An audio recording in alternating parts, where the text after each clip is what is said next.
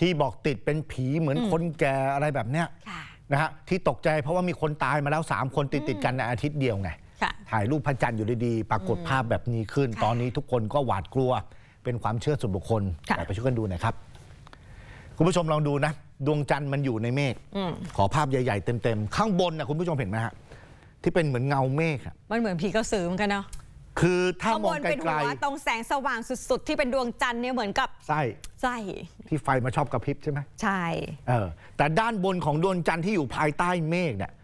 เขาบอกเหมือนอะไรฮะอืมเหมือนหญิงชาราอ่าเป็นผู้หญิงนะฮะค่ะสู้ผอม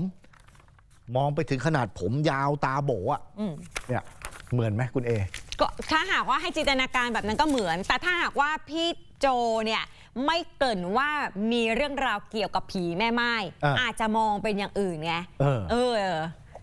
แต่พอมันมีเรื่องราวเกี่ยวกับผีแม่ไม้ปุ๊บมองเมฆมองปุ๊บไกลๆเนี่ยเหมือนเป็นมฆผีเลย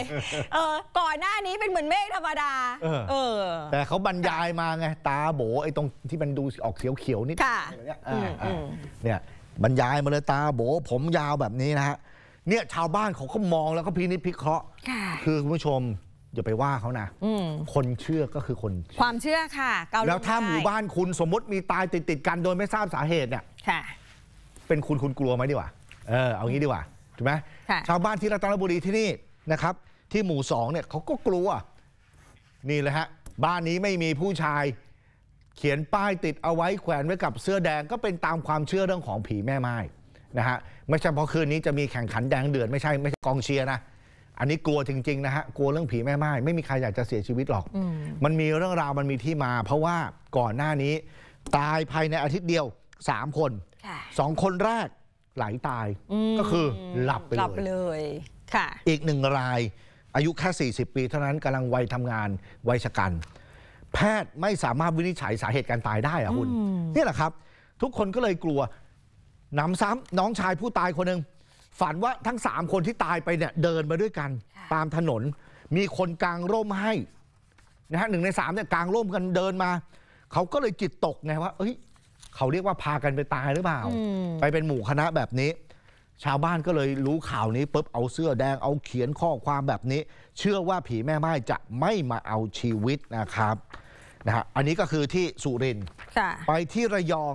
ที่ระยองเขาบอกว่ามีเรื่องหลอนเหมือนกัน คือเขาบอกว่าไม่แพ้ที่สุรินทร์เลย ผู้สื่อข่าวของเราได้พูดคุยค่ะ กับนายจ่าง